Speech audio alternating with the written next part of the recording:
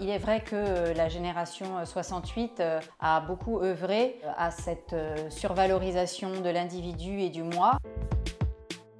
Après 30 euh, ans de cette idéologie euh, qui mettait au cœur de euh, l'enseignement l'enfant, et je dis bien l'enfant et non pas forcément justement l'élève, eh bien on a des, des enfants qui sont de plus en plus revendicatifs et qui ne comprennent pas que l'école, c'est le premier lieu d'apprentissage de la contrainte sociale. Ce que j'essaie de dire dans le livre, c'est que c'est une réforme éducative générale, c'est-à-dire qu'il ne s'agit pas juste de l'éducation nationale, il s'agit aussi de la façon dont nous, parents, nous euh, décidons de euh, nous réengager dans l'éducation des enfants. C'est aussi un des effets de, de mai 68, c'est la façon dont euh, les parents se sont déchargés de leurs responsabilités éducatives, notamment sur un certain nombre d'experts. Le maître, l'école, est un de ces experts à qui les parents ont délégué l'éducation, alors que l'éducation, c'est aux parents de la réaliser, l'instruction, c'est à l'école. Bien sûr, il y a des sociologues qui nous expliquent que le niveau monte et qu'on n'a rien compris, qu'en réalité les élèves continuent à être très bons et que c'est le problème des élèves qui sont euh, dans les quartiers défavorisés qui en quelque sorte feraient baisser le niveau. Mais ce n'est pas vrai du tout puisque toutes les enquêtes montrent que la baisse, elle est générale, quelles que soient les catégories socio-professionnelles. Cela fait déjà euh, plus de 20 ans que les études internationales et nationales se succèdent pour montrer que le niveau général des élèves baisse euh, à l'échelle de l'OCDE et de l'Union européenne. Or, on voit très bien quand on regarde attentivement ces études que ce n'est pas la question du nombre d'heures consacrées euh, aux enseignements qui pose problème, mais ce sont les méthodes d'apprentissage qui posent problème.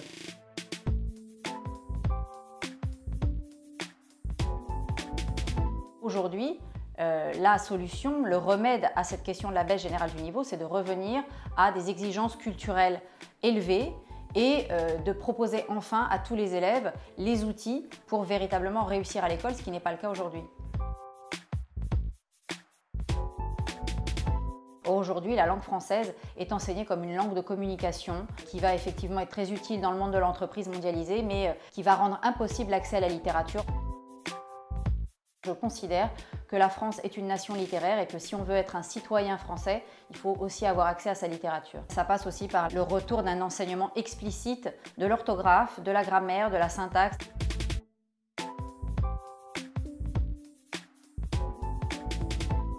Aujourd'hui, il faut vraiment réinvestir un enseignement exigeant des fondamentaux, c'est-à-dire il ne faut pas juste dire on va reprendre le lire, écrire, compter, il faut que les apprentissages soient faits de façon explicite et exigeant et qu'on puisse enfin transmettre une langue de qualité à tous les enfants de la République.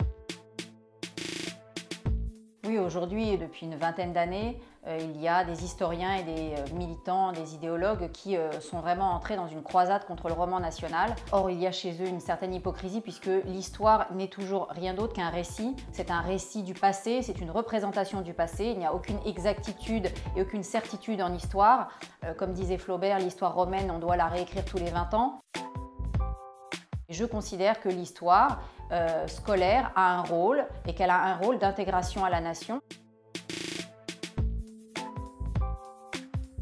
Aujourd'hui, on voit bien que euh, l'identité nationale française se porte mal, et à mon avis, ce serait déjà celle-là dont il faudrait commencer à s'occuper. Observé euh, déjà dans, des ouvrages, euh, notamment certains ouvrages auxquels j'ai contribué, une montée du racisme et de l'antisémitisme dans euh, certains établissements, notamment les établissements de banlieue, les établissements classés en zone d'éducation prioritaire. C'est un véritable problème que l'éducation nationale ne prend toujours pas à bras le corps parce qu'en réalité, là aussi, euh, il faudrait euh, réinvestir un certain discours historique. Or, aujourd'hui, on continue à être dans l'incantation sur les valeurs de la République, mais en réalité, on l'a bien vu au moment des attentats, on est aujourd'hui dans une situation de quasi-partition en France. Le président Hollande a lui-même employé ce terme. Donc je crois qu'aujourd'hui, la situation effectivement est extrêmement grave sur cette question de l'antisémitisme dans les banlieues.